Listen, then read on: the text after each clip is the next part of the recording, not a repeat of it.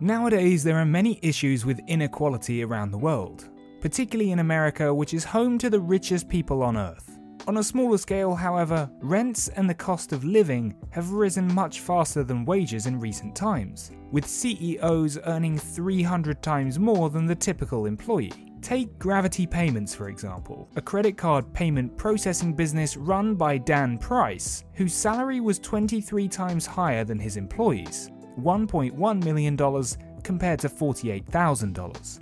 But Dan Price is now known as the CEO who set a flat salary of $70,000 across the entire business, sacrificing his own salary to be able to do it. What can only be described as a massive gamble, some said he was crazy, others said it was revolutionary. But here's the story of Dan Price and how he revolutionized payments in more ways than one. Here's how it happened. First off, who is Dan Price? Well, he comes from a humble background in rural Idaho, growing up as a member of a Christian rock band called Straightforward, and went into work helping coffee shop and bar owners to negotiate cheaper rates from credit card processing businesses. But by the time Dan Price went to university, he developed a better way by processing the card transactions himself using outsourced technology. He started the business with savings and credit card debt alongside his brother Lucas.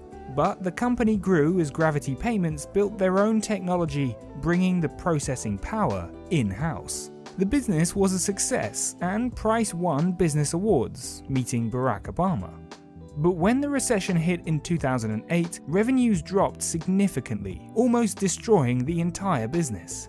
This made him think about his previously stingy salaries that he offered his employees.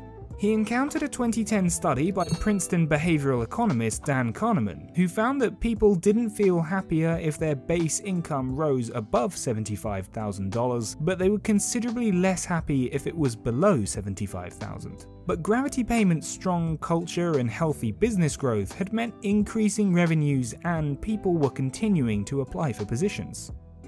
The penny dropped, however, when Jason Haley, one of his employees, complained about the low salaries, suggesting he wasn't able to live a decent life. Another colleague, Valerie, had suggested that her monthly bills had risen $200 and her life was chaotic, working two jobs to make ends meet.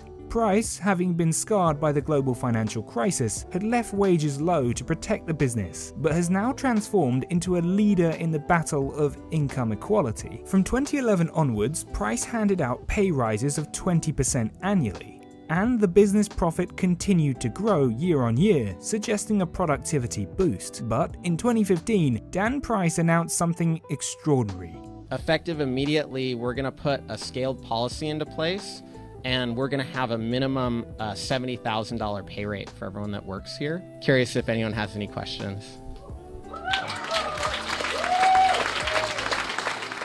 He did it by slashing his own salary, but also mortgaging his two houses and forfeiting his stocks and savings, as well as dipping into company profits. Whilst this frustrated some of the higher earning employees, which saw a handful of departures, the rollout would double the salaries of 30 people and provide a pay rise for another 40. The market reaction, however, was incredibly mixed. A significant amount of negativity arose, with some slamming the business. This is pure, unadulterated socialism, which has never worked. That's why I hope this company is a case study in MBA programs on how socialism does not work because it's going to fail. Whilst others called it a publicity stunt, which also saw his brother Lucas sue the firm. Some people called Dan Price a communist or a socialist, and Harvard Business School did actually include gravity payments as part of an MBA. Whilst raising your costs isn't normally associated with increased growth and success, the positive reaction it had was incredible and outweighed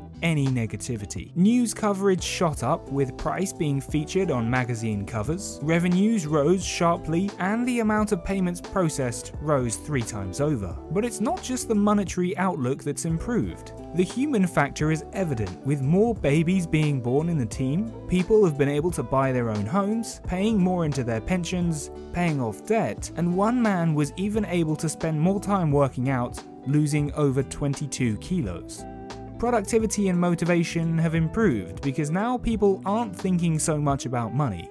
The focus is no longer, I have to work for money, but rather, how can I do good work?